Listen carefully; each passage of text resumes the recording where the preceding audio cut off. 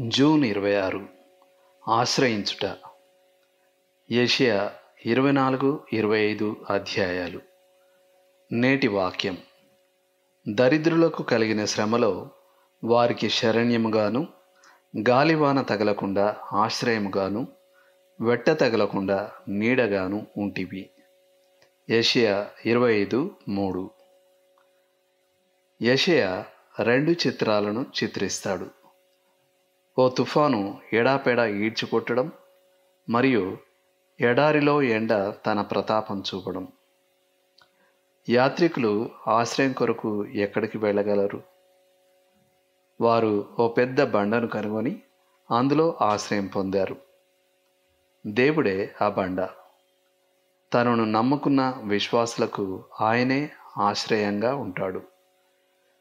ఓ మేఘం సముద్రాన్ని కప్పగానే వేడి అదృశ్యమైనట్టే శత్రువు యొక్క విజయ కేకలు అదృశ్యమవుతాయి. శ్రమ తీర్పు సమయాల్లో దేవుడు తన స్వంత వారి పట్ల శ్రద్ధ వహిస్తాడు. ఆయన నోవహును అతని కుటుంబాన్ని జలప్రళయం మధ్య సజీవులుగా కాపాడాడు. ఆయన తీర్పులు ఐగుప్తు మీదకు వచ్చినప్పుడు ఆయన ఇస్రాయేలును కాపాడాడు. ఎరుకో గోడలు కూలినప్పుడు ఆయన రాహాబును కాపాడాడు. యూదా ప్రజలు బబులోని చెరలోనికి కొనిపోబడినప్పుడు ఆయన విశ్వాసపాత్రమైన శేషాన్ని భద్రపరిచాడు. ఎన్నో శతాబ్దాల గుండా సాతాను దాడి చేస్తున్నా ఆయన తన సంఘాన్ని కాపాడాడు. ప్రభు దినం వచ్చినప్పుడు యూదా శేషము మిగిలి ఉండేలా దేవుడు చూసుకుంటాడు.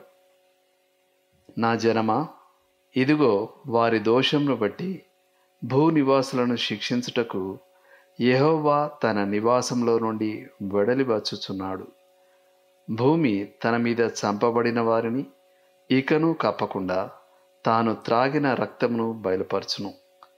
నీవు వెళ్ళి నీ అంతఃపురములలో ప్రవేశించుము. నీవు వెళ్ళి నీ తలుపులు వేసుకొనుము. ఉగ్రత తీరిపోవు వరకు కొంచెం సేపు దాగియుండుము ఏషియా ఇరవై ఆరవ అధ్యాయము ఇరవై ఇరవై ఒకటి వచనాలు. మీరు లోతుగా ఆలోచించాల్సిన విషయం.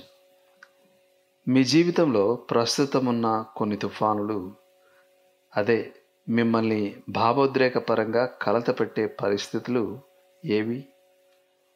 మీరు చెప్పే ఆ పరిస్థితుల్లో ప్రతిదానికి ఏ ఏ విధాలుగా దేవుడు ఆశ్రయంగా ఉన్నాడు? Amen.